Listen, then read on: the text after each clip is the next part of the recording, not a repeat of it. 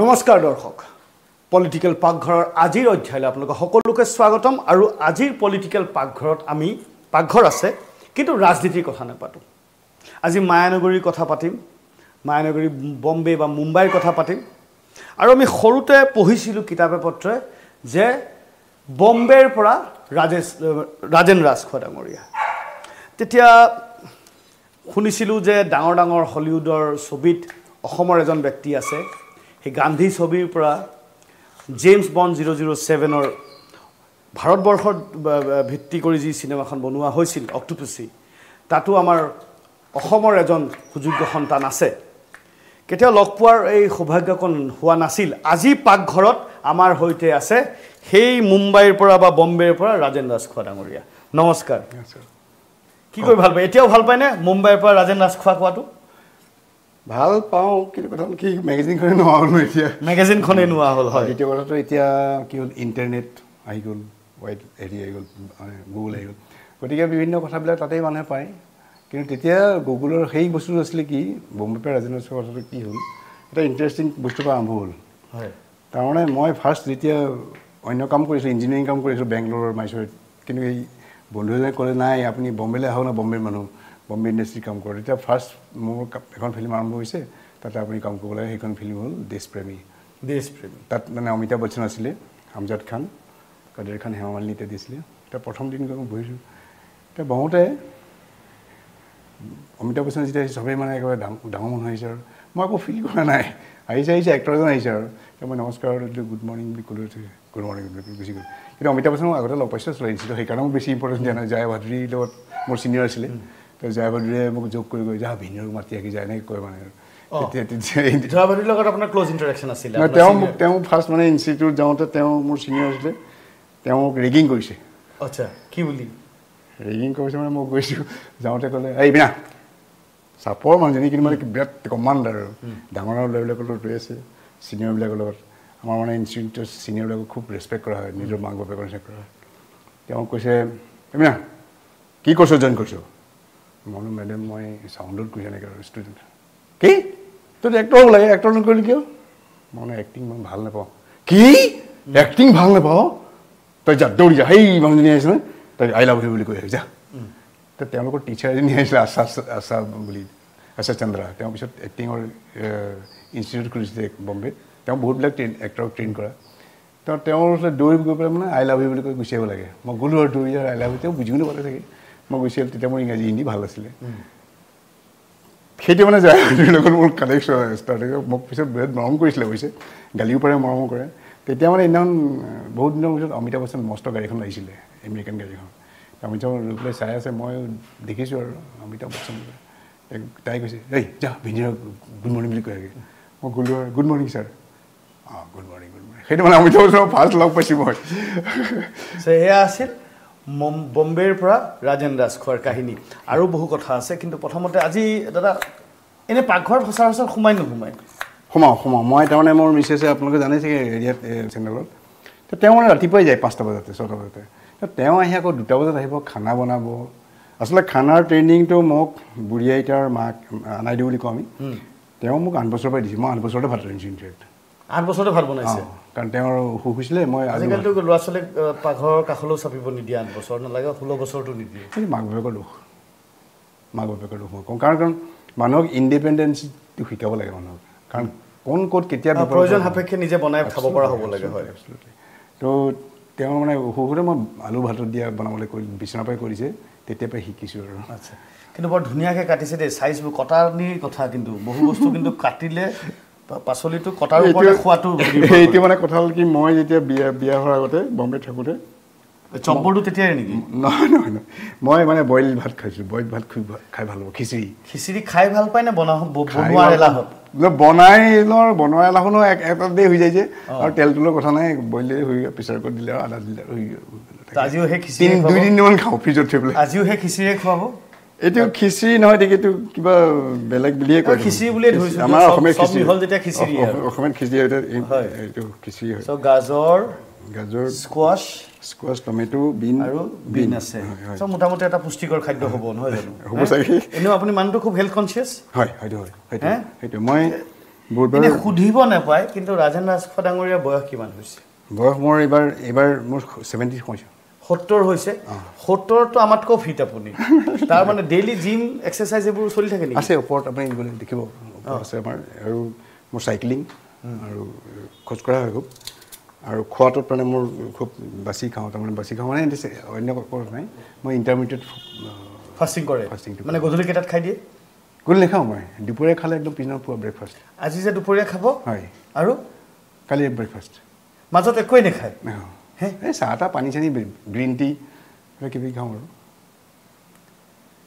সত্তৰ বছৰ যদি এনেকুৱাকৈ থাকিব মন যায় তেতিয়াহ'লে মন কৰিব যে দুপৰীয়া সাঁজ খোৱাৰ পিছত খোৱা বোৱা পাহৰি যাব। আৰু কি খাব লাগে পাহৰি যাব।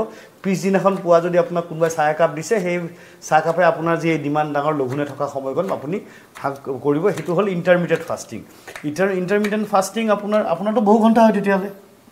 বাৰ ঘণ্টা ইফালে ইফালে আৰু ছঘণ্টা ওঠৰ ঘণ্টামান। সাত আঠ ঘণ্টামান। আঠ ঘণ্টামান হৈ বেছি হ'বগৈ আজি দুপৰীয়া খাইছে। হয় আঠ ঘণ্টা আৰু আঠ ঘণ্টা হৈ তাৰমানে বাৰ ঘণ্টা প্লাছ আঠ ঘণ্টা সেইটোৱে সেইটো মই আপোনাক। তাৰমানে ৰাতিপুৱা চাহটো মই সদায় মই বনাওঁ। ৰাতিপুৱা চাহকাপ নিজে বনাই খায় নিজে- বনাই তেওঁকো দিওঁ। ৰাতিপুৱা চাহকাপ খাই দুপৰীয়া ব্ৰেকফাষ্ট হয় breakfast breakfast. Heavy breakfast heavy Breakfast heavy. Breakfast heavy breakfast ধৰি লওক লাইক এ কিং দুটা কণী অমলেট বা তেনেকুৱা ভুৰ্জি বনালোঁ বা টোষ্ট বনালোঁ বা চিৰা দৈ খাই ভাল পাওঁ চিৰা দৈ খালোঁ। চিপছ মাৰেনে? পিছ মাৰোঁ? আজি মাৰি দেখুৱাব লাগিব আজি। আজি ডিপছ মাৰি দেখুৱাব। কিমান নোৱাৰ কথা পাতিব আজি বেলেগ কথা দেখুৱাব। আৰম্ভ কৰক।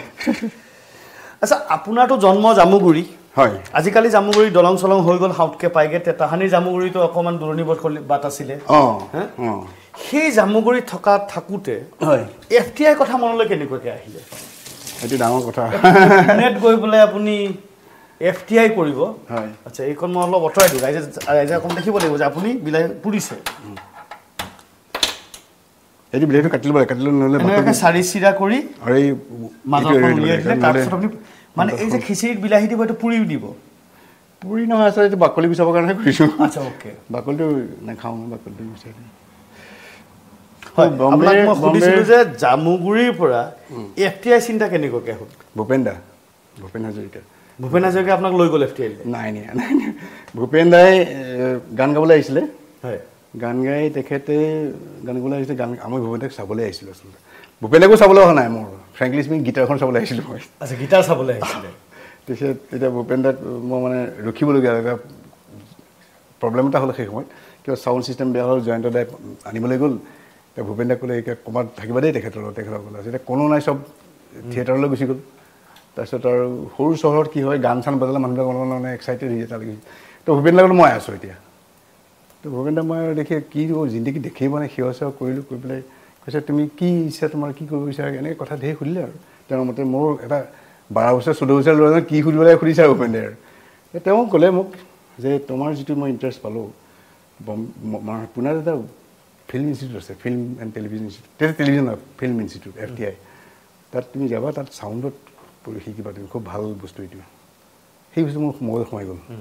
কাৰণ মই তেতিয়া ভাবিছিলোঁ বি এছ চি পাছ কৰি মাষ্টৰী চাকৰি কৰিম সেই সৰু অঞ্চলত কি চাকৰি পাম? তেতিয়া তেওঁ কৈছে জ্যোতি চিত্ৰমন তুমি চাকৰি পাবা সেইটো কৰি আহিলে। মই সুধিলোঁ কি হ'ব তেওঁ কৈছে জ্যোতি চিত্ৰ চিত্ৰমনত চাকৰি পাবা এইটো এতিয়া নতুন নতুনকৈ বস্তু ওলাইছে গতিকে সেইটো কৰি লোৱা তুমি। তেতিয়া মই ভূপেন্দ্ৰৰ কথা শুনি সেইটোকে মনত ভাবিলোঁ যে মই ফিল্ম ইনষ্টিটিউটলৈ যাম।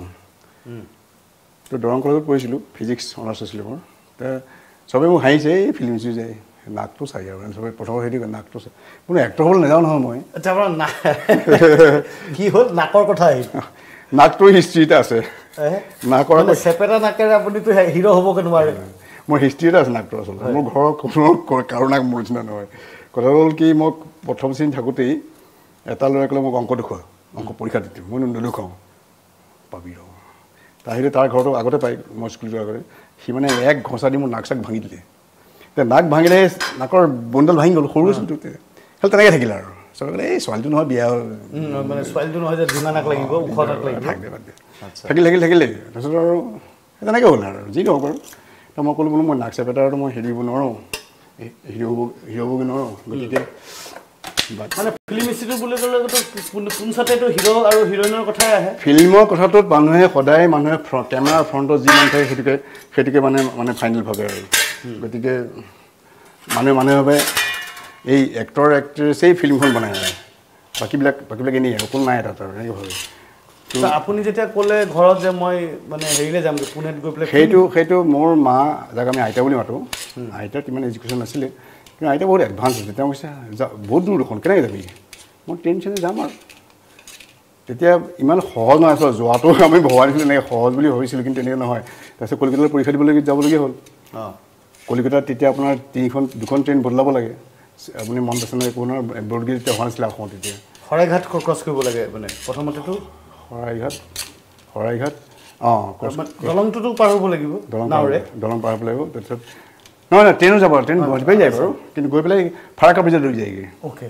ফাৰাকা ব্ৰিজত দৌৰি গৈ পেলাই আকৌ নাৱত উঠি আকৌ বেলেগ ট্ৰেইন বদলাব লাগে। সেই সময়তে মানে নাওখন এৰি দিলে। মই এইফালে বেডিং এখন তেতিয়া আমাৰ বেডিং হে বেগ চেগ নাই। ধৰি পেলাই এনেকৈ জালিখনতে ধৰিলোঁ। হাত কাটি গৈছে। তলত একে খৰচ মানে পানী বিৰাট ফাৰাকাৰ ব্ৰিজত বিৰাট সোঁত আৰু। সেইটো কৰি পেলাই গৈ ট্ৰেইনত উঠিছোগৈ তেনেকৈ গ'লোঁ। এনেই এবাৰ পৰীক্ষা দিলোঁ সেইটো পাছ হ'লোঁ তাৰপিছত ভাবিলোঁ কি হ'ব ইয়াৰ পিছত? চবেই ক'লে কি হ'লো? ঘূৰি আহিলোঁ দেখোন। নহয় এইটো ৰিটাৰ্ণ টেষ্টেই হৈছে টেষ্টটো থাকে নেকি তাত মানুহে নাজানো চবে তাৰপিছত হেৰি হৈ পেলাই গ'লোঁ ইনষ্টিটিউট পোনালৈ ত পোনালৈ গৈ মই গম পাইছোঁ চবে তাত ফৰাফৰ ইংলিছ মাৰিছে একদম তাত ভাষাই বেলেগ চবৰ মোৰতো আমিতো পঢ়ি অহা নাই এইবিলাক আমিতো নাজানো তেনে কথা বতৰা তাত মই এইবিলাকহে এতিয়া চবে মাৰ্চিডিজ বি এম ডব্লিউ থ'বলৈ আহিছে পোৱালিবিলাকক মানে বাপৰি যি নহওক বাৰু তাত গৈ মই আপোনাক এটা কথা কওঁ এইকাৰণে এইটো কৰিবলৈ এইকাৰণেই কৈছোঁ যে এইটো এটা মোৰ জীৱনত এটা ৰেখা পৰিছে এটা জীৱনত কিছুমান পৰেতো সেইটো এটা ব্ৰেক হ'ল। তাত আমাৰ শপত গ্ৰহণ এটা হয়। যে পাছ হ'লে নহয় আপুনি চিলেকশ্যনত শপত গ্ৰহণ হয়।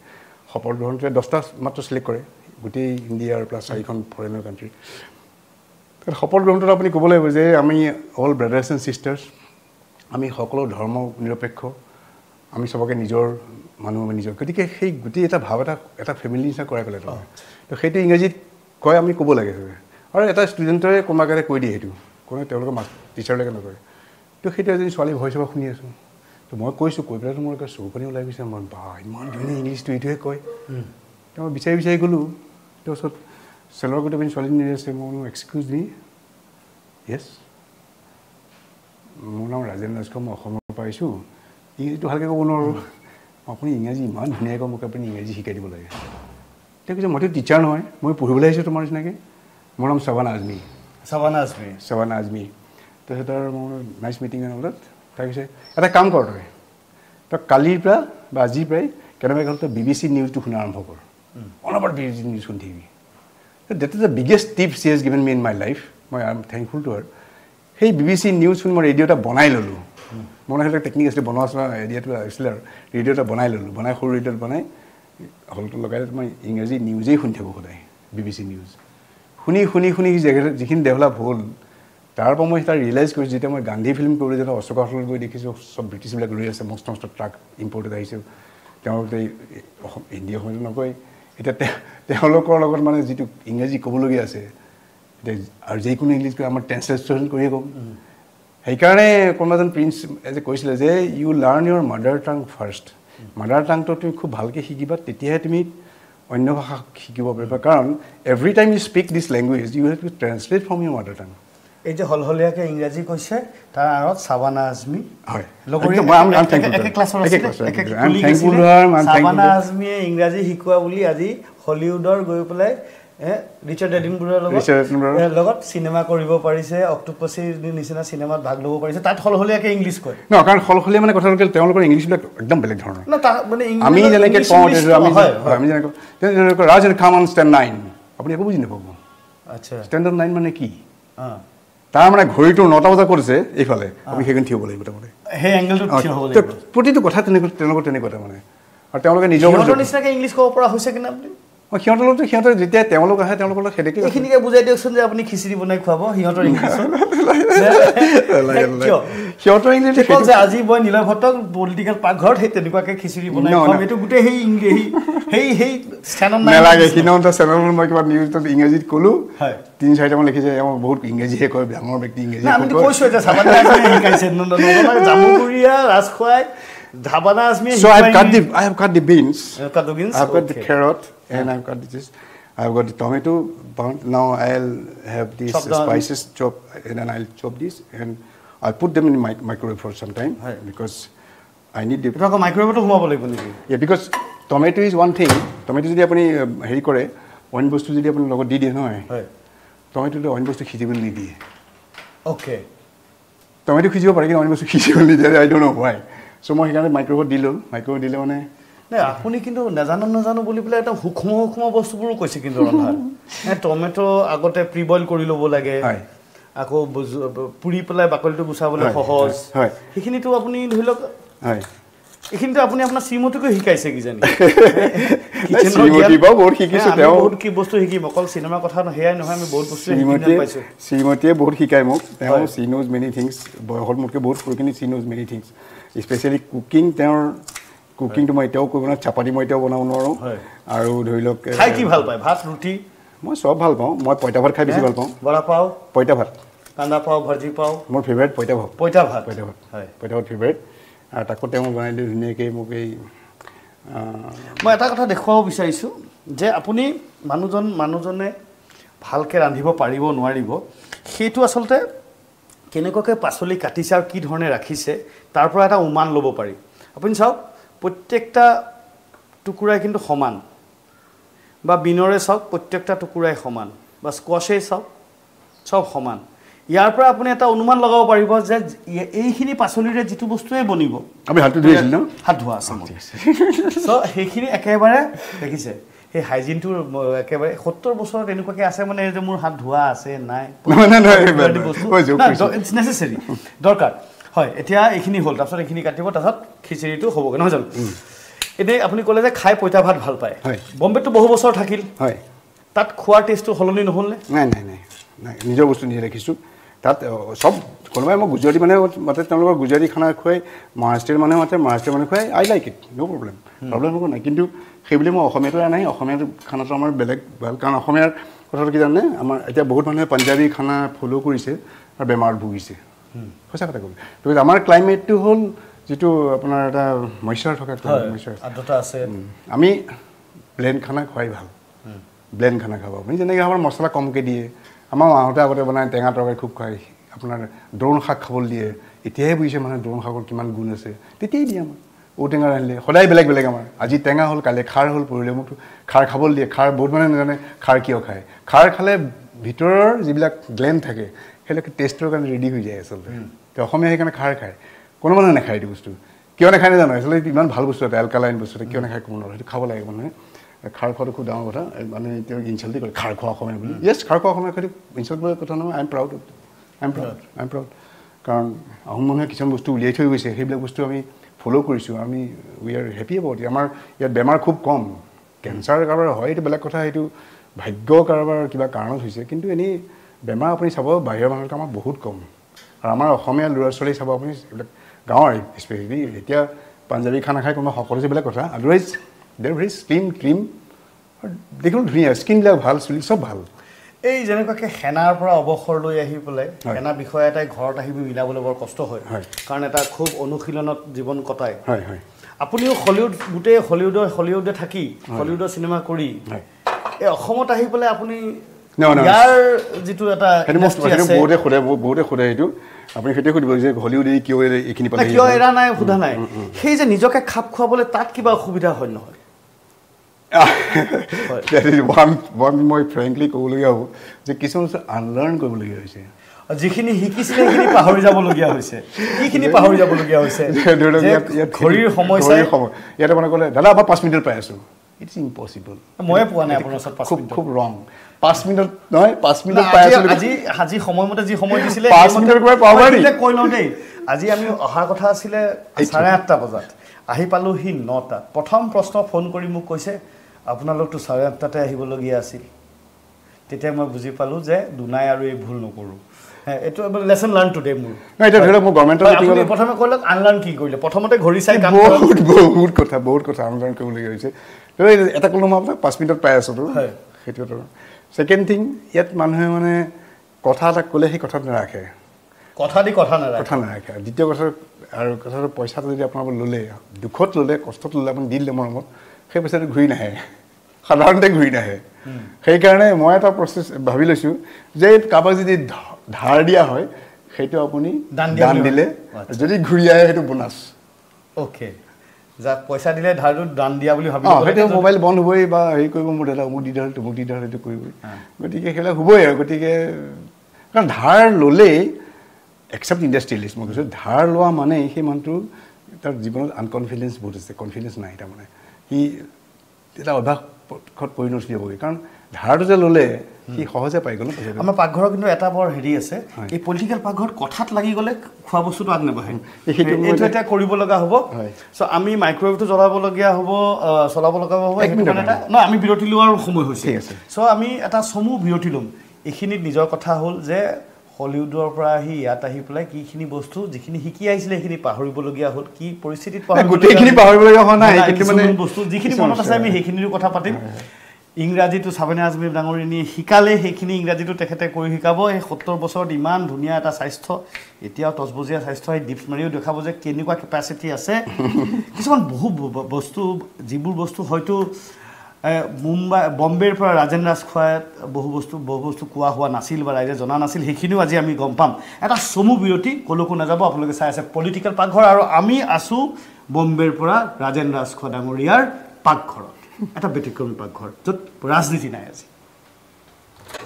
বিৰতিৰ পিছত স্বাগতম আপোনালোকে চাই আছে পলিটিকেল পাকঘৰ আৰু আমি আছোঁ বম্বেৰ পৰা ৰাজেন ৰাজ খোৱা ডাঙৰীয়াৰ পাকঘৰত। আজিকালি ইয়াতে থাকে গুৱাহাটীতে থাকে তেখেতৰ পাকঘৰত আৰু আজি তেখেতে একেবাৰে পুষ্টিকৰ খিচিৰি বনাই খুৱাব খায়ো ভাল পায় খুৱায়ো ভাল পায়।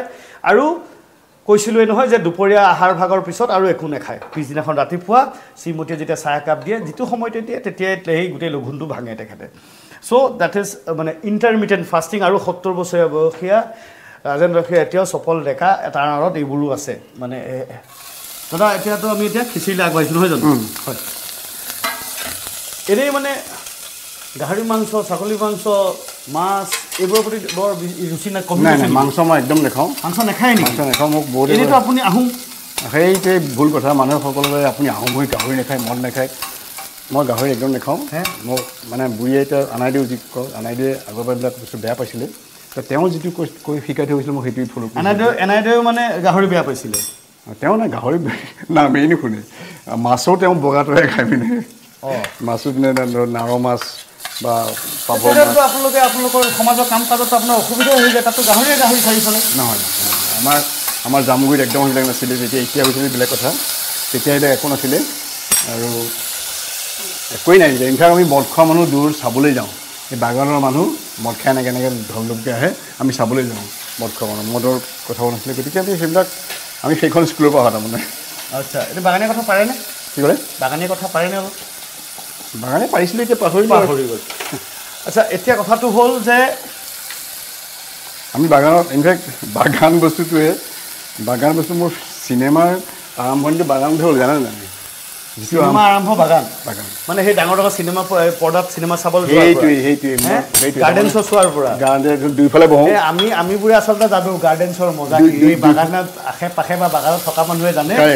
বাগান গাৰ্ডেন শ্ব' কাক কয় আৰু তাৰ মজা সেইটো কিজানি মাল্টিপ্লেক্সতো সেই মজা। নাই নাই নাই সেইটো মই জানা নাই। কাৰণ আমি বহিছিলোঁ পৰ্দাৰ সিফালে। হয় উল্টা চাই উল্টা। সোঁহাত বাওঁহাত হৈ যায়।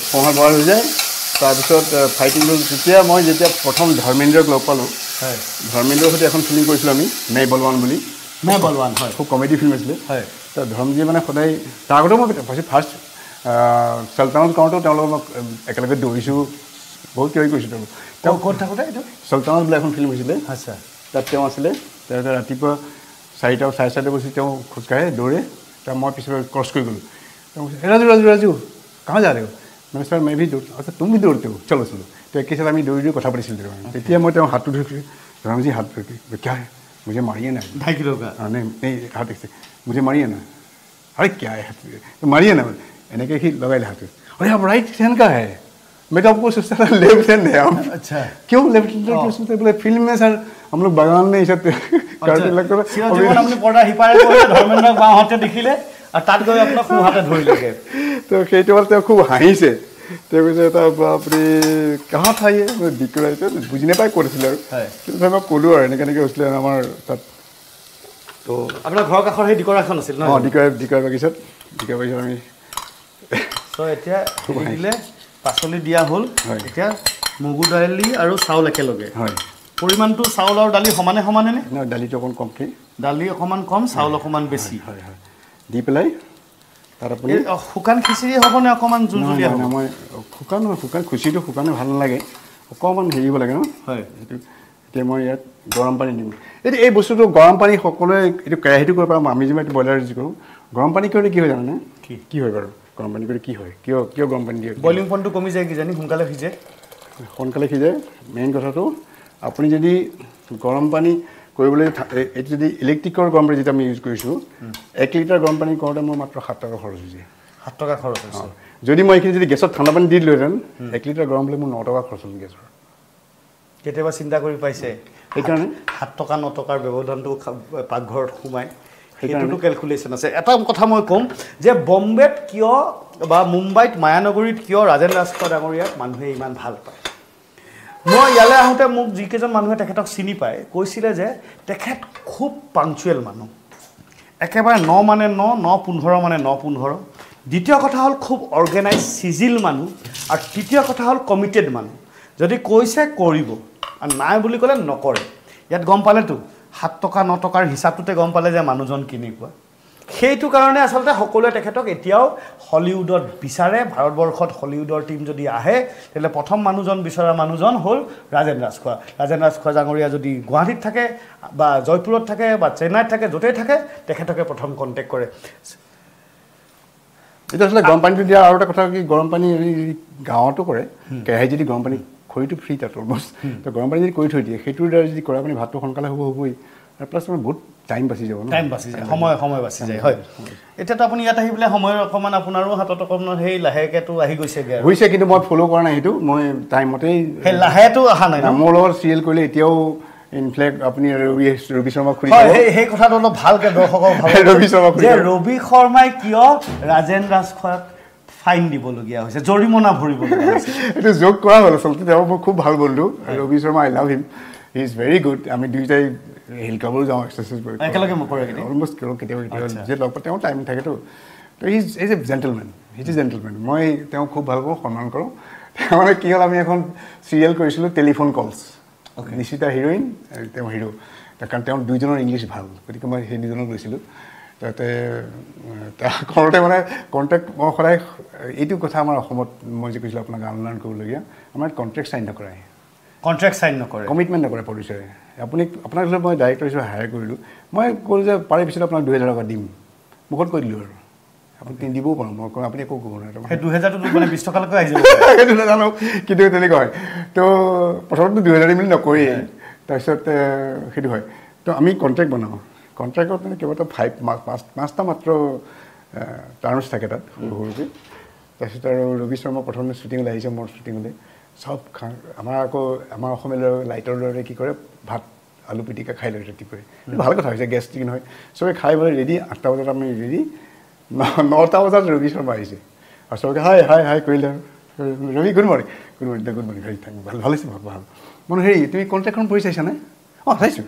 পকেট আছে তাত চাই তাত মানে ডেইলি কিবা এটা হেভি এমাউণ্ট আছিল তেতিয়া। তেতিয়াৰ দিনৰ হেভি এমাউণ্টৰ মানে উইথ ইজ ৰেচপেক্ট অঁ বঢ়িয়া বঢ়িয়া বঢ়িয়া। এমাউণ্টটো কৈ দিব মই- ময়ে কৈ দিওঁ এতিয়া জানো তেতিয়া দিনৰ বহুত টকা আছিলে পাৰ ডে দুহেজাৰ টকা। 2000 টকা আছিলে। পাৰ ডে দুহেজাৰ টকা হাই স্পীড। হাইলি পেইড মানে মোৰ হিচাপত মই তেওঁক কাৰণ এটা কথা আপুনি জানিলে শ্ৰমৰ। মূল্য দিছিলে। আপুনি এটা কথা জানি ভাল পাব যে আৰু কিছুমানৰ কাৰণে মই শত্ৰু হ'লোঁ এটা কথা কাৰণে মই পইচাটো বেছিকৈ দি দিওঁ তাৰমানে। বেছিকৈ নিদিওঁ দিব লাগে উচিতটো দিয়ে। মেকআপত সাতশ টকা আছিলে মই এহেজাৰ টকা কৰিলোঁ। সেইটো কাৰণে বহুতৰ খং উঠিছিল যে এহেজাৰ টকা কিয় দিব লাগে। কিন্তু মেকআপৰ মানুহবিলাক বহুত কষ্ট কৰে নহয় জানো? তেওঁ এজনীয়ে বহুত সেইটো হয়। তো তেনেই হয় ৰবিয়ে সেইখন চালে মই কণ্টেক্ট চালে তাৰপিছত মই ক'লোঁ তুমি লাষ্টৰটো লাইন পঢ়ি চোৱা নাই? লাষ্টৰ লাইন পঢ়ি ৰবি মানে চকুত টেলেকা হৈ গ'ল।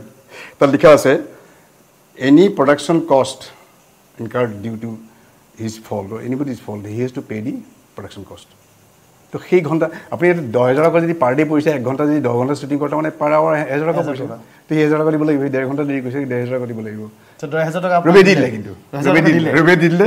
দাদা আজিৰ পৰা নহয়। আৰু আৰু তাৰ তাৰপিছত ৰবিয়ে কিন্তু আজিলৈকে আপোনাক চাওক ৰবি সদায় ৰেগুলাৰ এইটো মই শিক্ষা দিয়া বুলি নহয় বাট কিন্তু সেই ডেৰ হাজাৰ টকাটো মনত লাগিল থাকে মনত থাকে লাগিল তেওঁৰ থাকে মনত লাগিল এইটো বেয়া কাম হৈছে পাবলগীয়া আছিল দিবলগীয়া দিব লাগে বেয়া এইটো বেয়া কাম কৰিলোঁ মই। ন আই শুড বি একদম পুৰা ডিচিপ্লিন আপুনি ৰবিৰ লগত কাম কৰি ভাল পাব হিজ ইজ টু মানে মই যদি ইণ্ডাষ্ট্ৰি আকৌ যদি ফিল্ম বনাওঁ মই ৰবিৰ লগতে কৰিম তাৰমানে। আপুনিতো ডিচিপ্লিন আনডিচিপ্লিন দুটা ধৰণৰ মানুহে পাইছে। হয় হয়।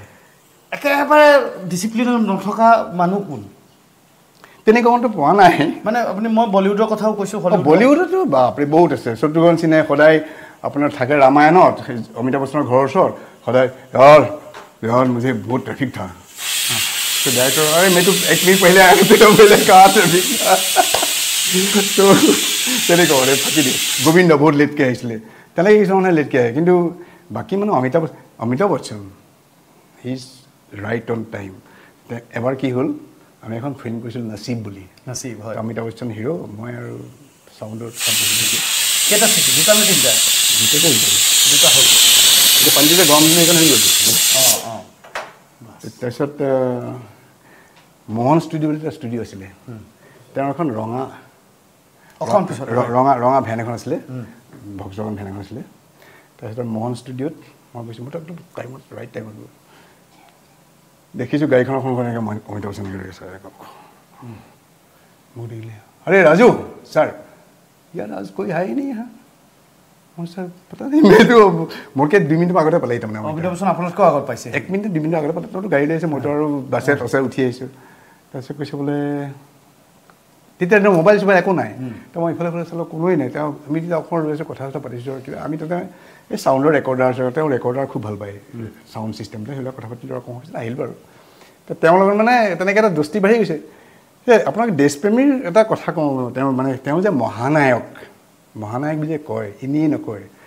খং কৰি এক্টিং কৰাৰ কাৰণে নকয়। তেওঁ কি হ'ল মোৰ সৈতে কি হ'ল সেইটো কথা কৈছোঁ। মোৰ মানত মহানায়ক তেওঁ গ্ৰেট ষ্টাৰ এইকাৰণেই আমাৰ তেতিয়া। কি হয় তেতিয়াৰ দিনত আমাৰ মানে যেতিয়া লাঞ্চ ব্ৰেক হয় এনেকৈ বগা কাপোৰ পাৰি দিয়ে টেবুলখন লম্বাকৈ পাৰে চব দুইফালে বহে আৰু তেনেকৈ খায়। আৰু আমি ফিল্ম ইনষ্টিটিউটৰ মানুহৰ কাৰণে আমাক বহুত ৰেচপেক্ট দিয়া আছিলে ফিল্ম ইনষ্টিটিউটৰ ল'ৰাবিলাক মানে খুব ভদ্ৰ আৰু কাম জানে সেইকাৰণে তেওঁলোকে যি নহওক বাৰু অমিতাভ বচ্চন সেইখিনি বহিছে মই এইখিনি বহিছোঁ। সেই মোৰ বছজন বহিছে এইফালে মনমোহন দেশাই ডাইৰেক্টৰ বহিছে বহিছে আৰু। তেওঁ মানে অলমষ্ট ডায়েগনেলি অপজিট তুমি এজন মানুহ। তেওঁ মই ভাত দিছে এই পাঞ্জাবী যে ৰঙা ৰঙা কাৰীবিলাক যে একদম আলু এনেকৈ মটৰ থাকে তেল তেওঁ মই লৈ পেলাই এনেকৈ চাই আছোঁ। তেওঁ চাবলৈ এনেকৈ চালে? কিয় গিয়া?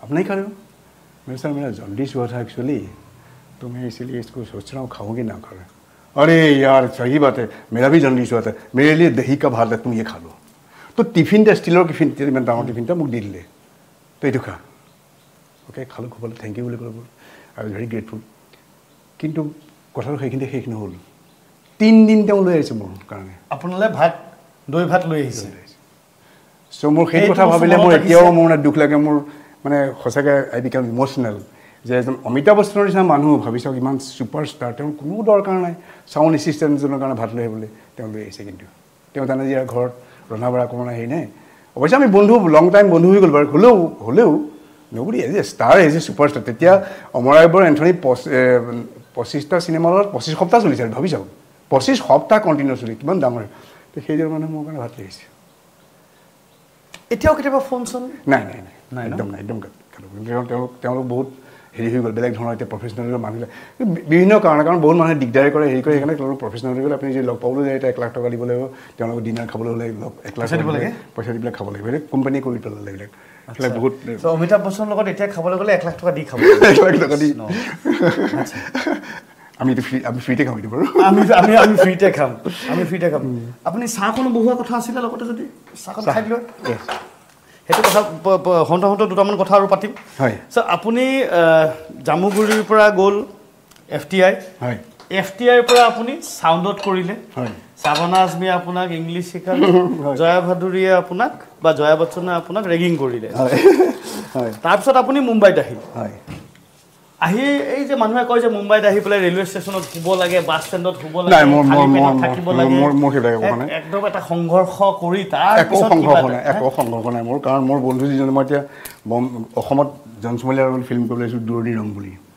দূৰণি ৰংখন কৰোঁতে মোৰ যিখিনি পইচা আছিল গ'লেই জমাখিনি গ'ল পইচা নাপালে জন- এতিয়া তেওঁ বাৰু স্বৰ্গবাসী হ'ল ক'ব নাপায়। কিন্তু মোৰ পইচা পাতি নোহোৱা হৈ গ'ল ইয়াত। তেতিয়া মোৰ এজন বন্ধুৱে ক'লে কি কৰি আছোঁ অসম ইমান কোৰ্চ ডিগ্ৰী লৈ মই ফাৰ্ষ্ট ক্লাছ অনাৰ্ছ আছিলে মোৰ মানে first class with honours pass কৰিছোঁ তাৰমানে মই এফ টি আইৰ পৰা? এফ টি আইৰ পৰা. আৰু যিটো ছাবজেক্ট মই প্ৰথমতে ফেইল কৰিছোঁ সেই ছাবজেক্ট মই হাইষ্ট মই পাইছিলোঁ মানে। তাত প্ৰথমতে হিন্দী ইংলিছ নাজানো সেইকাৰণে মই এটা চাবজেক্ট ফেইল কৰিছিলোঁ ফাৰ্ষ্ট ইয়েৰ যি নগৰ তেতিয়া তেওঁ ক'লে মোৰ তালৈ গৈছে মোৰ দাদাই ফ্লেটটো লৈছে মই থাকোঁ বিলেইপাৰালৈ আহি যাওঁ তেওঁৰ তালৈ গৈ তেওঁ প্ৰথমতে মোক ন টকা ত্ৰিছ পইচা এখন পাছ দিছে। ন টকা ত্ৰিছ? পইচাৰ পাছ সেইখন বাছ মানে কি ট্ৰেইনত। আপোনালোকে অহা যোৱা কৰি pass যেতিয়াই অহা যোৱা অঁ একমাহ মানে ন টকা ত্ৰিছ পইচা মাত্ৰ ঘূৰি থাকিব কৈছে বোলে this is passport for you in Bombay চাকৰিটো বিচাৰি লওঁ তাৰপিছত প্ৰথম প্ৰথম গৈ ক'ত চাকৰি পালেগৈ? তেতিয়া ৱেষ্টেক্স নামৰ এটা কোম্পানী আছিল প্ৰজেক্টৰ বনোৱা কোম্পানী তাত মই এজন আপুনি প্ৰথমতে গৈ ফিল্মত যোগদান নাই। কৰা? মই ইঞ্জিনিয়াৰিঙতে। ইঞ্জিনিয়াৰিং কৰি কাৰণ সেই তেওঁ এটা ৰেকৰ্ডিং ষ্টুডিঅ'ত কাম কৰিছিলে মোৰ বন্ধুজনে। তাতে জগজিৎ সিঙৰ ৰেকৰ্ডিং হৈছিলে প্ৰায়। তাতে আমি গৈ জগজিৎ সিঙক বহুত ভাল হৈছে ভাল হৈছে বুলি কৈ চিকেন বিৰিয়ানী খাওঁ। তেওঁ মানে কওঁ আৰু পণ্ডিতজী আৰে কিয়া আচ্ছা আৰে ইয়াৰ কিয়া লা ৰহে লাঞ্চ লিয়ে? এই তেতিয়াই গৈ পেলাই প্ৰীতম আৰু ৰাজ হেৰিয়া চাংমাই মোক লগ পাইছিলে তাতে তো সেইটো সেইটো তেনেকৈ সেই ল'ৰাজন দিলে। সেই ন টকা ত্ৰিছ পইচাৰ পাছখন লৈ মই এজন মোৰ ছিনিয়ৰ এজনে কাম কৰিছে ৱেষ্টাৰ্ছ কোম্পানী ৱেষ্টাৰ্ছ কোম্পানীয়ে তেতিয়া প্ৰজেক্টৰ বনায়। আপুনি শুনিছিলে কি বম্বেত এটা হেৰি ড্ৰাইভিং থিয়েটাৰ আছিলে। এতিয়াও আছে অ, drive-in theatre, হয়। ড্ৰাইভিং থিয়েটাৰ এনেকৈ এনেকৈ ভিৰ ঢিপ বনাই দিয়ে তাত গাড়ীবিলাক খাৰা হয় স্পীকাৰটো লৈ লৈ লৈ পেলাই ডাঙৰ স্ক্ৰীণত প্ৰজেক্টৰটো সেই প্ৰজেক্টৰটো মই লগোৱা। আচ্ছা। মই আৰু ব্ৰেগেঞ্জা বুলি এজন আমি দুটাই দহ দিন লাগিছে বনাওঁতে ডাঙৰ প্ৰজেক্টৰ সেইটো আমি লগাইছিলোঁ। সেইটো আমাৰ বম্বেত ফাৰ্ষ্ট প্ৰজেক্ট কিন্তু তাত ছমাহমান কাম কৰাৰ পিছত মোক এটা প্ৰমোশ্যন দি পেলাই আহমেদাবাদলৈ পঠিয়াই দিলে সেইকাৰণে মই নগ'লোঁ। পেলাই সেই ফিল্ম দেশপ্ৰেমী আৰম্ভ হ'ল। তেতিয়া ফিল্ম লাইনটো আৰম্ভ। দেশপ্ৰেমীত প্ৰথম আৰম্ভ তেতিয়া- কৰিছে। বলিউডত আৰম্ভ কৰিল। হয়। হলিউড কেনেকুৱাকৈ আহিল জীৱনলৈ? অঁ সেইটো মানে কি হ'ল পানী এগৰাকী এখন দিলে চাহকণ খাব পাম। এগৰাকী এগৰাকী আমাৰ এই গৰম পানীকণে দি দিওঁ তেতিয়া সেই আকৌ দুটকা বচাম। এগৰাকী এগৰাকী হেৰি আছিলে এই ডাইৰেক্টৰ তেওঁ আহিছিলে হেৰিয়াৰ পৰা আপোনাৰ কেম্ব্ৰিজৰ পৰা। তেওঁ মাছ কমিউনিকেশ্যন কৰি আহিছে। তেওঁ মানে ইংৰাজী কোৱা মানুহ বিচাৰি ফুৰিছিলে তেওঁ মানে হিন্দী ক'ব নাজানে। মুছলিম লেডি এই লক্ষ্ণৌৰ হয়। তেওঁ হিন্দী নাজানে। তেওঁ কৈছে ইংলিছ কোৱা মানুহ কোনোবা পাম নেকি? তো আমাৰ এজন ছোৱালী আছিলে য'ত আমি তেতিয়া সেইটো ঘৰত জানু বৰুৱা মই একেলগে আছিলোঁ। আচ্ছা। এইটো হ'ল হেৰিয়াত আপোনাৰ এই মেইন ড্ৰাইভৰ ওচৰত। এইটো গৰম পানী আছে এইটোতো। আমি এইটো ফ্লাছ কৰিলোঁ গৰম পানী থৈ দিওঁ। অঁ। লাল চাহ খাব ন? অঁ লাল চাহ। তাতে মেইন ড্ৰাইভাৰ আছিলোঁ আমি চিৰিডুত ওৱান খাৰ ষ্টেডিয়ামৰ ওচৰতে ঘৰৰ মালিকনীজনী হ'ল ৰিজাৰ্ভ বেংক অফ ইণ্ডিয়াৰ গভৰ্ণৰৰ জীয়েক ৰিটায়াৰ হোৱা গভৰ্ণৰ তাৰপিছত তেওঁ ক'লে তেওঁ শৰ্মাৰ সৈতে বন্ধু শৰ্মা মানে এই মানুহগৰাকী ইংলেণ্ডৰ পৰা যিগৰাকী তেওঁ মোক ক'লে এই তুমি যাওঁ স্কেচত হায়দৰাবাদ মই শ্বুটিং কৰে লোক আপোন পদাৰে তো মেডামে মোৰ লগত কথা পাতিলে খুব ভাল পালে তেওঁ মই নাজানিছিলোঁ তেওঁ যে ইমান ডাঙৰ মানুহ তেওঁ এই লক্ষ্ণৌৰ ওচৰৰ লক্ষ্ণৌৰ মানে তালুকদাৰৰ জীয়েক তালুকদাৰ মানে? এই মানে মানুহ তহচিল তহচিলদাৰ তহচিলদাৰ। বহুত ডাঙৰ ফেমিলি তাৰমানে তেওঁৰ আহ, খুৰাকটো হ'ল জেনেৰেল আছিলে আৰ্মিত তেনেকৈ ডাঙৰ। যি নগৰ তেওঁক সেই ফিল্মখন পোৱাৰ পিছত তেতিয়া মানে গান্ধী আহিলে। তাৰপিছত দুখন তিনিখন ফিল্ম কৰিলে। আমি সুনীল গাভস্কাৰৰ লগত বহুত কাম কৰিছোঁ। সুনীল গাভস্কাৰ। সুনীল গাভস্কাৰ এটা কোম্পানী আছিলে প্ৰফেচনেল মেনেজমেণ্ট কোম্পানী বুলি। তেওঁৰ আমি এড ফিল্ম বনাইছোঁ কিবা কিবি বনাইছোঁ। তেওঁৰ লগত খুব কাম মই লগো পাইছোঁ সুনীল গাভস্কাৰক। তো সেইবিলাক কৰি পেলাই এড ফিল্মত মোৰ ইণ্টাৰেষ্ট হ'ল বহুত এড ফিল্ম কৰিলোঁ আমি। এড ফিল্মত পইচাও বেছি। আমি জানুৱাৰী মই গৈ পেলাই চাইনিজ এনেই টিভিত দেখা কলগেট চলগেট তেনেকুৱাবিলাক যে কলগেট কৰিছে। কলগেট বহুত বহুতবিলাক ফিল্ম আৰু চাৰ্ফ তাৰমানে ধেৰ কৰিছোঁ। তাৰ কৰাৰ পিছত সেই আমি খা পইচা পাওঁ জানুৱাৰী মই গ'লে চাইনিজত খাওঁগৈ একদম দামী দামী চাইনিজ জানুৱাৰী তেতিয়া ফিল্মৰ স্ক্ৰিপ্ট লিখি থাকে সিও কৰে তেতিয়া ডকুমেণ্টাৰী তেতিয়া তেওঁ এছ'ত কাম কৰিছিল নেকি তাৰপিছত আহি পেলাই তাত যি নহওক বাৰু তাৰপিছত গান্ধীখন কৰি তেওঁ ক'লে I will introduce you international film now so' মোৰ লাক ভাগ্য আৰু তেখেতৰ। তেওঁ মোক নি পেলাই তেতিয়া গান্ধী ইউনিটত মানে আপুনি জামুগুৰিৰ সেই এল পি স্কুলৰ পৰা। ইংলিছ নজনাকৈ গৈ চাবানা আজমীয়ে জনা ইংলিছটো যদি জীৱনত নহ'ল হয়। তেতিয়াহ'লে বহু ন, বছৰ- আমাৰ পঢ়োতে আমি স্কুলত মাৰ খাইছো মাষ্টৰ বহু পাছ পাৰ্টিচিপল গো এণ্ড গন এইবিলাক খুব মাৰ খাইছো।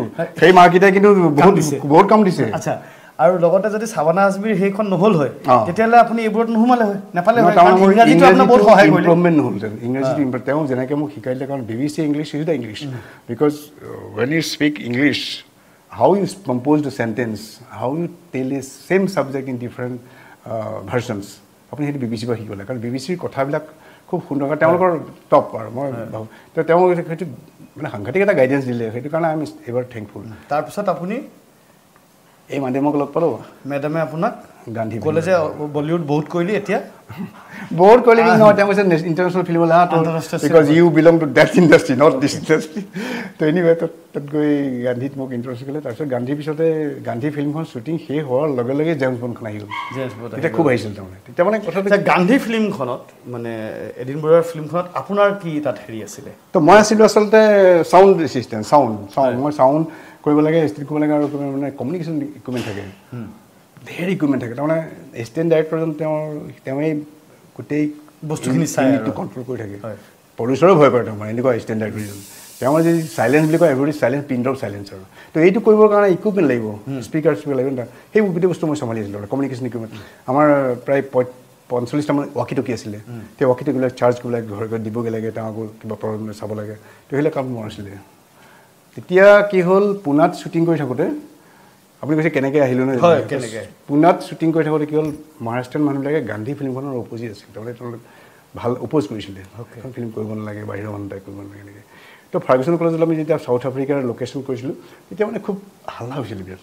কিয় ফিল্ম কৰিব লাগে কিয় হেৰি কৰিব লাগে? মানে খুব ডিষ্টাৰ্ব কৰিছে আহি।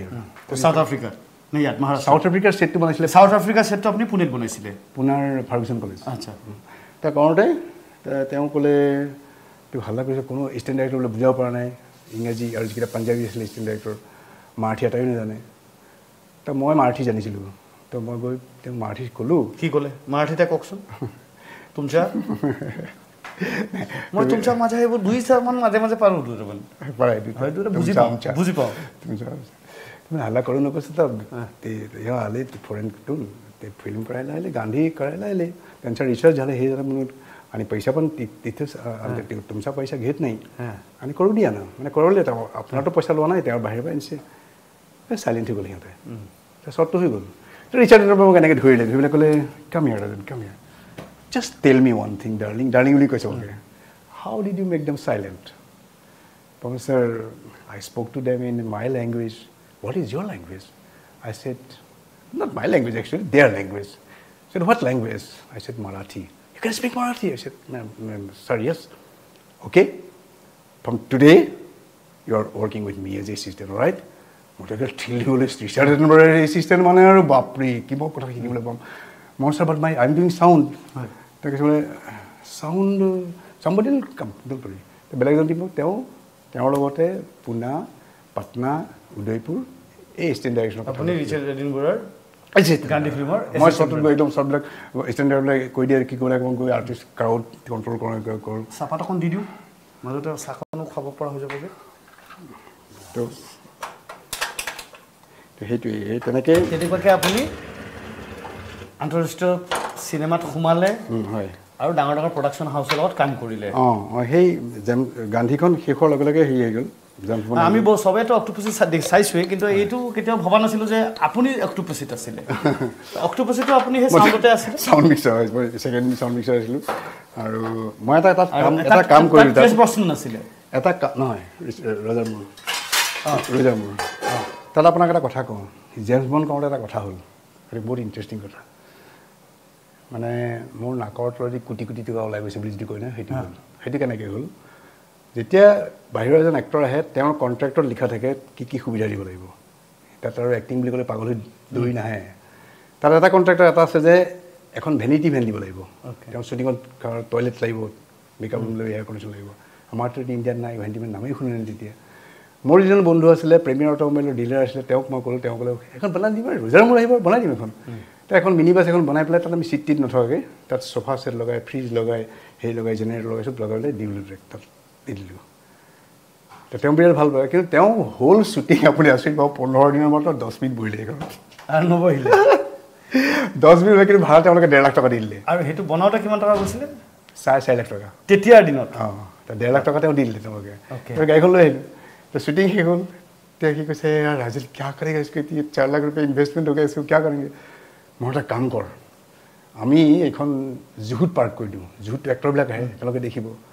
পাৰ্ক কৰি থৈছে চান এণ্ড চান হোটেলৰ পৰা বহুত দিন পাৰ্ক কৰি থৈ দিছে নাই নাই কোনো নাই বা ড্ৰাইভাৰে মাখি মাৰি মাৰি বহি থাকে খৰচ দিয়ে সি কৈছে ৰাজু ইয়াত ড্ৰাইভাৰ খৰচা দিয়ে না আমি কুছ नहीं हो रहा है এদিন পুনম ধিলন আহিল পুনম ধিলন ভিতৰত সোমাই কিয় আহে বোলে মেডাম এই ভেন হে শ্বুটিং के लिए अच्छा ये क्या क्या है টয়লেট দেখি বিৰাট খুচি গ'ল কেমিকেল টয়লেট আছিল তাত প্লেনত যে থাকে toilet তেনেকুৱা। अरे ये तो बहुत अच्छा चीज़ है मेरा शूटिंग में इतना तकलीफ होता है लड़के लोग को पेशाब वेशाब जाने में बहुत तकलीफ होता है ये मुझे दे दो कितना चाहिए तो ड्राइवर নিজৰ মতে ক'লে পাঁচ লাখ ইয়া ইয়া দিছ অ'কে তাই হিৰোইন আছিল তেতিয়া নুৰি চুৰি গৈ দেখিছিলে পাঁচ লাখ টকা দি সেই গাড়ীখন কিনি ল'লে কিনি ল'লে কিনি ল'লে কিন্তু কোটি কোটি ক'ত গ'ল মই কওক কওকচোন বাৰু এই যে গাড়ীখন যে ল'লে লোৱাৰ পিছত বেলেগবিলাকে দেখিলে অঁ অৰে এইটো বহুত আচ্ছা আইডিয়া এক্টৰ লোক কাহাঁ যায় বনাওঁ ইচকু কোনোবাই বাছ এখন বনাই যেনে বাছখন এটা বনাই হাই কৰিলে সেই বহুত চলিবলৈ ল'লে সি ভাড়াটো তিনি হেজাৰ চাৰি হেজাৰ কৰিলে বহুত চলিবলৈ ল'লে সি আৰু এখন ওলালে আৰু এখন ওলালে তেনেকৈয়ে একোটা একোটা মানুহে এতিয়া বিছখন বিছখন ভেন বনাইছে পোন্ধৰ হাজাৰ টকাকৈ পাৰ ডে ভাড়া কেন ইমাজিন মানে পোন্ধৰ হাজাৰ টকা যদি ভাড়া বিছখন গাড়ী যদি একেলগে পায় ভাৰতীয় মানে ফিল্ম ইণ্ডাষ্ট্ৰী ভেনৰ কালচাৰটো মানে মোটামুটি আপুনি আৰম্ভ কৰা। মই এইটো ডিমাণ্ড নকৰোঁ কিন্তু মই কৰিছোঁ সেইটো কথা। মই পুনমে কিনি ল'লে সেইখন। কিন্তু আপুনি যদি এতিয়া গুগলত মাৰে। যে আপুনি সেইটোতে সত্য পাব গুগলত যদি মাৰে how come vanity van came to Bombay industry তেতিয়া ক'ব পুনম ধিলন প্ৰতি আৰু তাতে মানুহে কিন্তু পুনম কেতিয়াও চিন্তা কৰবা নাজানো ন। আঁৰৰ কাহিনী এয়াই। চাহটো হৈছেগৈ আমি একাপ চাহ খাম তাৰপিছত আমি ইয়াৰ পৰৱৰ্তী খণ্ডলৈ যাম. এটা চমু বিৰতি লওঁ. ৰস আহি আছে। আচলতে এই বাগানৰ ওচ- ওচৰে পুচৰে থকা মানুহৰ আড্ডা কালচাৰটো থাকেই। অকল আড্ডাৰ এটা পৰিৱেশ লাগে। আৰু আমি পলিটিকেল পাকঘৰত আচলতে আমাৰ প্ৰয়াসেই থাকে যে ৰাজনীতিয়ে হওক বা ৰাজনীতিৰ বাহিৰৰ কথাই হওক সেই আড্ডাৰ পৰিৱেশটো হওক। আৰু পাকঘৰ এটা যে এনেকুৱা ঠাই যে মানুহে খোৱাত আচলতে আড্ডাটো ডাঙৰকৈ বহে। য'তে দেখিব আপুনি ধাবাতে বহক হোটেলতে বহক খোৱা লৈ সেই আড্ডাটো বহে। চ' সেই পৰিৱেশটোৱে আমি ক্ৰিয়েট কৰিব চেষ্টা কৰোঁ। চ' আপোনালোকে চাই আছে পলিটিকেল পাকঘৰ। আমি আছোঁ বম্বেৰ পৰা ৰাজেন ৰাজখোৱা ডাঙৰীয়াৰ গুৱাহাটীত থকা ঘৰৰ পাকঘৰত। ক'লৈকো নাযাব এটা চমু বিৰতি। এইটো মাইথান ষ্টিল নহয়। অ ওচৰ চুবুৰীয়াসকলে লগাইছে। ষ্ট্ৰং মানে? মাইথেন ষ্টিল।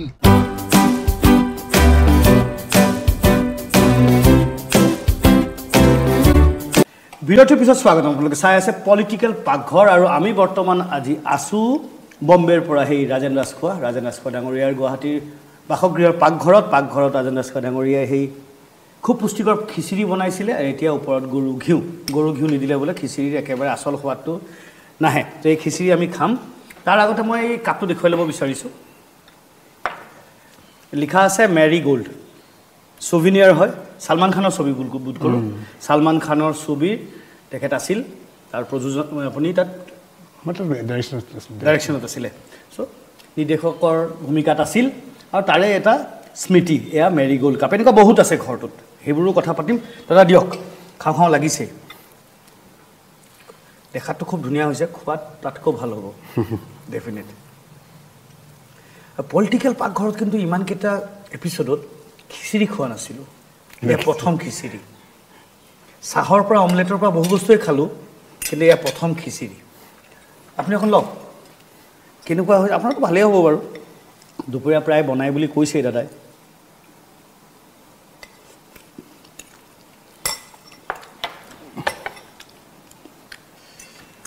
খুব ধুনীয়া হৈছে। দাদা কথা আপুনি বম্বেত ত্ৰিছ পঁয়ত্ৰিছ বছৰ আছিল। মুঠ আপুনি ধৰি লওক বম্বে বা বলিউড চিনেমা কিমান ক'লে কৰিলে অমিতাভ বচ্চনৰ কথা ক'লে নচিবৰ কথা ক'লে ধৰ্মেন্দ্ৰৰ কথা ক'লে একেবাৰে ৰিচেণ্টলৈকে ছখনমান গৈছোঁ নেকি? ছখন ছয় সাতখনমান গৈছোঁ। ন মই হলিউড কোৱা নাই বলিউড? বলিউডৰ কথা কৈছোঁ। বলিউড ছখনমান কৰিছে। একেবাৰে ৰিচেণ্ট লাষ্ট কোনখন কৰিছে? লাষ্ট মই তেতিয়াই মোৰ যিজন ডিৰেক্টৰ আছিলে মুকুল আনন্দ হয়। তেখেত ঢুকালে তাৰপিছত আমি এৰি দিলোঁ আৰু। আহোম বুলি এখন পিকচাৰ আছিলে। সেইখনতে এৰিছোঁ। তাৰপিছত আপুনি নাই কৰা? নাই, নাই। আৰু হলিউডৰ? হলিউডত বাৰখনমান কৰিছোঁ নেকি? লাষ্ট টু থাউজেণ্ড এইটিনত লাষ্টখন কৰিছোঁ। সেইখন কোনখন সেইখন আছিলে ৱাৰিয়ৰ কুইন অফ ঝাঁচি বুলি। ৱাৰিয়াৰ কুইন অফ ঝাঁচি তাৰমানে ঝাঁচি ৰাণীৰ ওপৰত। বুজিছোঁ। কাষ্ট কাষ্ট কোন আছিলে? তেখেতৰ তাতে তাৰে যিগৰাকী ডিৰেক্টৰ আছে তেওঁৰে ছোৱালীয়ে কাম কৰিছিল তাত।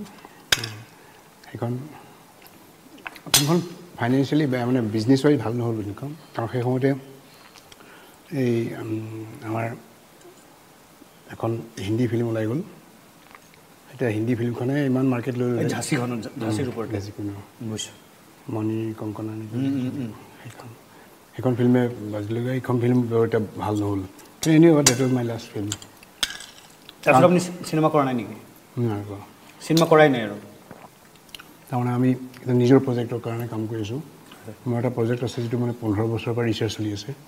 গতিকে সেইখন যদি সেইখন আৰম্ভ হ'ব আশা কৰোঁ এইবাৰেই আৰু এখন ফিল্ম আমি এতিয়াই যাম এতিয়া লোকেশ্যন শ্বুটিঙৰ কাৰণে গতিকে সেইটো কামৰ কাৰণে কিছুমান কাম বাদ দি দিছোঁ এই দুটা এই দুখন চিনেমাই অসমত অসমৰ কৰি- পটভূমিত কিন্তু ইউনিভাৰ্চেল ৰিলিজ আচ্ছা এতিয়া কথাটো হ'ল আপুনি তাৰ পৰা আহি গ'ল ইয়ালৈ হয় আপুনি ক'লে যে বহু বস্তু যিখিনি আপুনি ইমান দিনে শিকিছিলে বুজিছিলে সেইখিনি মানে বাদ দিবলগীয়া হ'ল তথাপি যদি আপোনাক সোধোঁ মই আপুনি তিনিখন জগততে কাম কৰিছে। বলিউড হলিউড আৰু আমাৰ ইয়াৰ স্থানীয় যিখিনি যিটো ইণ্ডাষ্ট্ৰী হয়। আপোনাৰ আপুনি পাৰ্থক্যটো কি বুজে? পাৰ্থক্য আচলতে সেইটো এটা হ'ল ফাইনেন্স কাৰণ ফাইনেন্সটো বহুত বেছি তাত কাৰণ ইউনিভাৰ্চেল ৰিলিজ আপোনাৰ একেলগে ধৰি লওক তিনি হাজাৰ চিনেমা ৰিলিজ দিয়ে। আৰু আমাৰ ত্ৰিছটা চল্লিছটাও নাপাওঁ ধৰি লওক। তো সেই হিচাপে আমি তেনেকৈ প্ৰডাকশ্যন কৰিব নোৱাৰোঁ অসমত ফাইনেন্স আৰু এটা এটা বস্তু হৈছে হয় ফিল্মখনৰ বিষয়ে নজনাকৈ খুব ছাবজেক্টটো ভালকৈ ষ্টাডি নকৰাকৈ। যিকোনো মানুহেই ডাইৰেক্টৰ পৰিচয় হৈ যাব নালাগে। আমাৰ ইয়াত সেইটো এটা আছে আছে সেইটো আছে। কাৰণ। মই প্ৰডাক্টটো দেখি কৈছোঁ দেই মই মানুহজনৰ পাৰ্চনেলি একো নাজানো মই। প্ৰডাক্টটো দেখি কৈছোঁ যে এইজন মানুহে ধৰি লওক শ্বটটোৰ বিষয়ে কোনো তেওঁলোক আইডিয়াই নাই কোনোবা এটা ধৰি লওক ট্ৰেঞ্জিশ্যনৰ বিষয়ে আইডিয়া নাই। কোনোবা ধৰি লওক শ্বটটো ক'ত নেক্সট শ্বটটোত কাটিং কেনেকৈ কৰিব সেইটো আইডিয়া নাই। তেনেকৈ কিছুমান বস্তু বহুত দেখা গৈছে। সেইকাৰণে সেইবিলাক ফিল্ম দেখি গম পোৱা যায় এই মানুহজনে ফিল্মৰ বিষয়ে কোনো সম্যক জ্ঞান মানে আহৰণ কৰা নাই। এটা ফেশ্বনত ফিল্মখন প্ৰকাশ কেইটামান পাই পেলাই ফিল্মখন আৰম্ভ কৰিছে। আমি সদায় কওঁ যে অসমীয়া বোলছবি যি ধৰণে আগুৱাই যাব লাগিছিলে যি ধৰণে উন্নতি হ'ব লাগিছিলে মানুহে যেনেকুৱাকৈ বিনিয়োগ কৰিব লাগিছিলে বা যি ধৰণে চাহিদা হ'ব লাগিছিলে তেনেধৰণে হোৱা নাই।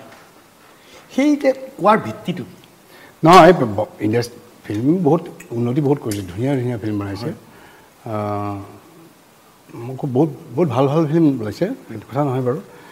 কাৰণ সৰু ষ্টৰিটো ভাল ফিল্ম হ'ব পাৰেতো সৰু এটা ষ্টৰি ধৰি লওক এতিয়া ইৰাকত অঁ ইৰাণত। ইৰাণত সৰু সিহঁতৰ বাজেট নাই সিহঁতৰ ফিল্ম কৰিবলৈ নিদিয়ে মানুহ ডাইৰেক্টৰক এৰেষ্ট কৰি দিয়ে কিবা কিবা অকণ পলিটিকেলি নিবলৈ তথাপি তেওঁলোকে বহুত ধুনীয়া ধুনীয়া ষ্টৰি কৰি ফিল্মখন বনাইছে। আপুনি যদি চাইছে শ্বুজ বুলি এখন আছিলে জোতা এপাতৰ কাৰণে হয়। এতিয়া অলপতে এটা এখন খুব চলিছে মই ফেচবুকত দিছিলোঁ এখন বহুত চলি আছে যে টিভিটো এটা ল'ৰাই টিভিটো নচলে বেয়া হ'ল তাক খুলি চালে তাৰ ভিতৰত ধেৰ ব্ৰেডৰ টুকুৰা আছে খানাৰ টুকুৰা আছে কাৰণ সি তাৰ মতে দেখিলে যে চমালিয়াত ভোকত আছে মানুহ গতিকে ব্ৰেডটো দি সি হৈছে টিভিৰ ভিতৰতে চাগে মানুহজন আছে। তো সেইখন ফিল্ম অস্কাৰ পাইছাৰ এখন ফিল্ম বহুত ফেমাছ হৈছে। তো তেনেকুৱা ফিল্ম ছাবজেক্ট ছাবজেক্টৰ কথা। কিন্তু কথা হ'ল কি আমাৰ কথাটো আমাৰ প্ৰব্লেমটো কি হ'ল আমাৰ ফিল্ম বহুতে বিজনেছ কৰিবৰ কাৰণে মাদ্ৰাছক ফ'ল' কৰি বা বম্বেক ফ'ল' কৰি সেইটো কৰিবলৈ ধৰিলে। সেইটো কৰিব পাৰিব কিন্তু পইচা সেই হিচাপে লাগিব যেনে তেলেগু ফিল্মে যিটো কৰে। কিন্তু তেলেগু ফিল্মৰ কি হ'ল ষ্টৰিটো তেওঁলোকৰ ভাল। আমাৰ অসমৰ ষ্টৰি বহুত আছে কিন্তু সেইবিলাক ষ্টৰি লৈ বহুতে ফিল্ম নকৰে। তেওঁলোকে ভাবে বহুত খৰচ হ'ব আৰু তেওঁলোকে ভাবে ৰাইট ল'বলৈ হ'ব বোলো ময়ে এটা ষ্টৰি ময়ে কৰোঁ না। কিছুমান ফাইনেন্সাৰ আছে মই প্ৰডিউচাৰ বুলি নকওঁ যি পইচা দি ফাইনেন্সাৰহে হয় আচলতে প্ৰডিউচাৰ নহয়। তো তেওঁলোকে ফাইনেন্স দিলে মোৰ পইচা আছে মই এটা ষ্টৰি আছোঁ দে ফিল্ম বনাই। তেনেকুৱা ধৰণৰ হয়। গতিকে সেইবিলাকত কোৱালিটি চাফাৰ কৰে। চ' টকা থাকিলে মানে তেখেত নিজে প্ৰডিউচাৰো ডাইৰেক্টৰো ফাইনেন্সাৰো চব হৈ যায়। সেইটো হ'ব নালাগে। হ'ব সেইটো হ'ব নালাগে। নাই যেনে যদি জ্ঞান আছে ফিল্মৰ বিষয়ে আই ডোণ্ট মাইণ্ড সেইটো কথা নাই। এই এতিয়া যি বৰ্তমান চৰ্চাত থকা চিনেমাখন বিদুল ভাই হয়। চাইছেনে? মই নাই চোৱা মই নাই চোৱা সেইকাৰণে মই তাৰমানে মই এতিয়া যেতিয়া ৰিলিজ তেজপুৰত আছিলোঁ তেতিয়া আহি পাইছোঁ যদি ক'ত আছে চাম বাৰু। কিন্তু মই চোৱা নাই। কিন্তু ল' বাজেট চিনেমা অসমীয়াত কিন্তু খুব ভাল হৈছে। সদ্যহতে যিসমূহ success- কমাৰ্চিয়েলি হৈছে। কমাৰ্চিয়েলি ভাল ছাকচেছফুল হৈছে। চ' আমি আচলতে নিজৰ সুকীয়াকৈ যিটো ধৰণৰ এটা শৈলী আছে সেইটোতে চব মানে থাকি টিকি থাকিব লাগে। পাৰে মানে সেইটো কৰিব পাৰে। যেনেকৈ এটা বেংগলী ফিল্ম বা আপোনাৰ মালায়ালম ফিল্ম সেইটো ভেৰি হাই বাজেট নোহোৱাকৈতো চলি আছে। ধুনীয়াকৈ ধুনীয়া ফিল্ম বনাই ন। তেনেকৈ আমি বনাব পাৰে বনাইছোঁ আচলতে। বনাইছোঁ কিন্তু প্ৰব্লেম কি আমাৰ বহুত মানুহে যদি ফাইটিং চাইটিং বা ডান্স চান্স কিছুমান চাই কিছুমান কাৰণ ফিল্ম চোৱাৰ আপুনি যিটো ভিউৱাৰশ্বিপ আছে সেইটো এটা ক্ৰিয়েট হ'ব লাগিব ন? সেইটো ক্ৰিয়েট হ'ব লাগিব। সেই বস্তুটো হোৱাৰ কাৰণে এতিয়া টেনশ্যনটো এইটো হৈছে যে আপুনি টিভিটো অন কৰাৰ লগে লগে হাণ্ড্ৰেড পাৰ্চেণ্টৰ ফিল্ম চলি আছে নেটফ্লিক্স চলি আছে মোক পটকৈ কম্পেয়াৰ কৰিব নোৱাৰি। মানুহে কৰে কিন্তু কম্পেয়াৰ কৰিব নালাগে আচলতে। আমাৰতো নিজৰ বস্তুটো নিজৰ হিচাপে ৰাখিব লাগে নহয় জানো? আপুনিতো অসমত প্ৰথমখন টিভি চিৰিয়েলো বনাইছিলে। হয়। ঘৰত কোন আছে? ঘৰত কোন আছে? সেইটো কেনেকুৱাকৈ আহিলে? মানে আপুনি চিনেমাৰ পৰা আহি পেলাই চিধা টিভি চিৰিয়েলত নাই তেতিয়া মানে আচলতে ইয়াৰ পৰা দূৰ- খবৰ দিলে বোলে দূৰদৰ্শনত চিৰিয়েল আৰম্ভ কৰিব।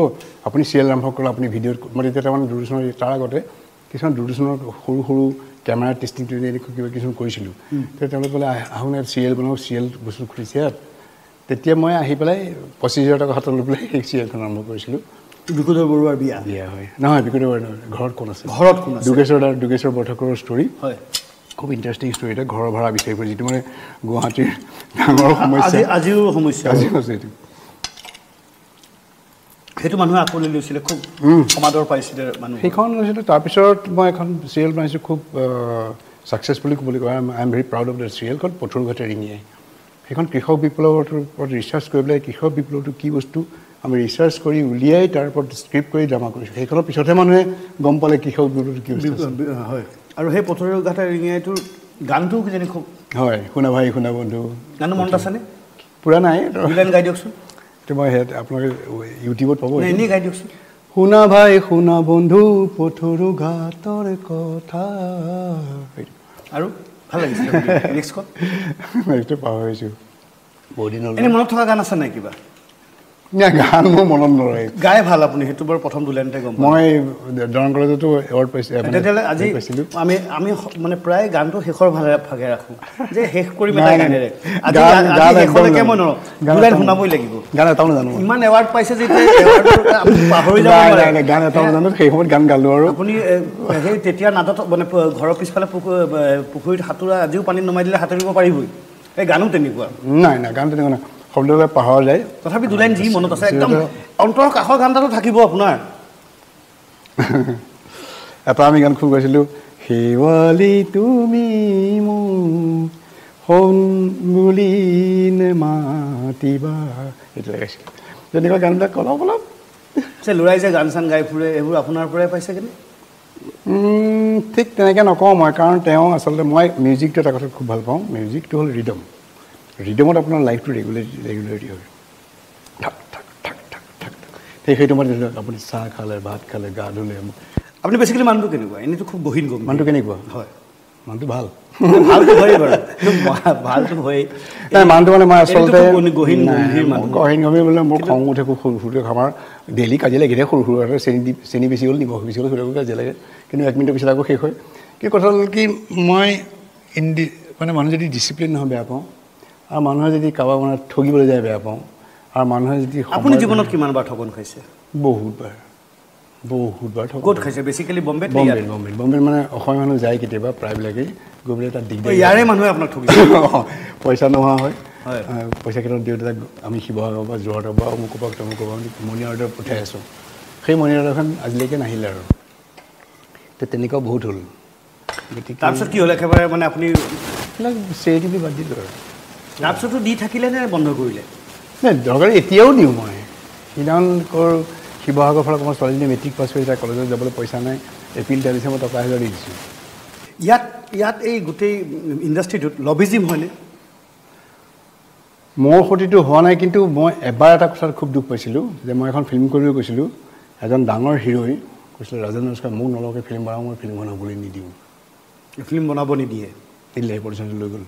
প্ৰডিউচাৰক কৰিবলৈকে নিদিলে এখন কমেডি ফিল্মখন আছিলে তেওঁৰ তাত ফিটেই নহ'লহেঁতেন আচলতে কিন্তু তেওঁ সেইটো কৰিলে কৰাৰ পিছত আৰু মই সেইটো আপুনি যিটো কৈছে সেইটো চাগে হয় চাগে সেইটো বস্তু নোহোৱাও নহয় চাগে মানুহে কয় যে এই ফিল্ম জগতত যিসকল থাকে মায়ানগৰীত বা এই মায়াজাল মাজতে আবদ্ধ হৈ যিসকল থাকে সেইসকলে ঘৰ দুৱাৰ বৰ বেছি চাই ফুৰি নাথাকেই আপোনাৰ লগতো তেনেকুৱা নে? আপুনি ফেমিলি মেন ন মই দুইফালে চবফালে একেই চবফালে একে শ্বুটিঙত গ'লে আপুনি সেইটো কামত বেছি ইণ্টাৰেষ্ট দিব লাগিব কাৰণ সেইটোৱে আপোনাৰ খানা পিন্ধা নহয় জানো? কাৰণ পইচা ইনভলভ আছে আপুনি you have to be very serious কিন্তু ঘৰৰ সেইবিলাক সেইকাৰণে মই বম্বে ইণ্ডাষ্ট্ৰীৰ ল'ৰা ছোৱালীসকলৰ কাৰণে গুচি আহিছোঁ ন। বম্বেত থকা যিটো গ্লেমাৰ মানুহৰ বম্বেত আছে মোৰতো কোনো ইণ্টাৰেষ্ট নাই এইটোত। মানুহে ইয়াত নকয় নে? বম্বে বম্বেৰ লেভেল দিছে বুলি? নকয়।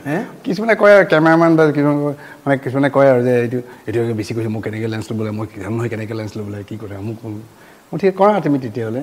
মই নকওঁ মই কিন্তু I feel use to this this lens তেনেকুৱা কিছুমান কেতিয়াবা কেতিয়াবা হয় নোহোৱা না- নোহোৱাকৈ নহয় বোলে। কিন্তু লেভেল দিয়া বুলি কোনো নকয় বাৰু এতিয়ালৈকে। আৰু কিডাল লেভেল দিম আৰু? তাত যিটো এইটো একে চবতে একে। আপুনি যিটো কেমেৰা কৈছে তাতো সেইটো কেমেৰা ইউজ হৈছে ন? কেমেৰাটো একেই মানুহবিলাকে বেলেগ। আৰু মানুহৰ দৃষ্টিভংগীটো আৰু ৱে অফ এক্সপিৰিয়েঞ্চটো বেছি। সেইটো আছে সেইটো মানে মই বম্বেত বেছি আছে বুলি নকওঁ কাৰণ আমাৰ অসমতো আছে। মানুহৰ খালি কথাটো how you approach how you take things খালি আপুনি চাইকেলখন চলাই গ'লে বম্বেটো চাইকেল চলাব ইয়াতে চাইকেল বম্বে মানুহে ডিচিপ্লিন কৈছিল আমাৰ ইয়াতে ইফালে ইফালে চাই ঘূৰাই দিব বাইকখন লৈ হয় নহয়? সেইটো কথা ডিফাৰেঞ্চ সেইটোৱে। আধা বস্তুটোৱে তেনেকুৱা যিমানে টানি লৈ গৈ থাকিব সিমানেই আগুৱাই গৈ থাকিব ৰাতিপুৱাই যায়গৈ আমাৰ হাতত সময় সীমাবদ্ধতা আছে সেই গতিকে এই গোটেই অনুষ্ঠানটো ইয়াতে সামৰিব লাগিব। পলিটিকেল চাপৰ পাকঘৰ চাই থকাৰ বাবে অশেষ ধন্যবাদ কিন্তু সামৰণিৰ শেষৰটো বাক্য মই আকৌ মুম্বাইৰ পৰা ৰাজেন ৰাজখোৱাৰ কাষলৈকে আহিম। সেই যে আপোনাক চাবানা আজমীয়ে শিকাইছিলে তাৰপিছত আপুনি এদিন বৰাৰ পৰা শিকিছিলে ইংলিছ ভাগ সেই ইংলিছটোতে আপুনি এণ্ডিংটো কওকচোন Thank you very much for seeing this program. I feel good meet you through this camera and channel. Thank you very much for seeing. Thank you. অশেষ ধন্যবাদ ভালে কুশলে থাকক সত্তৰ হৈছে এনেকুৱা আৰু বহু বছৰ আপোনাৰ এনেকুৱাকৈ আপুনি য়াং হৈ থাকক Thank you. আৰু বহু নতুন নতুন বস্তু বনাওক চিনেমা বনাওক আপোনাৰ যি ড্ৰিম প্ৰজেক্ট লাচিত বৰফুকনৰ প্ৰজেক্ট সেয়াও হওক আৰু পৃথিৱীৰ দৰ্শকে আপোনাৰ জৰিয়তে অসমখনকো চিনি পাওক লাচিত বৰফুকনকো চিনি পাওক. ধন্যবাদ এইটো মাইথান ষ্টিল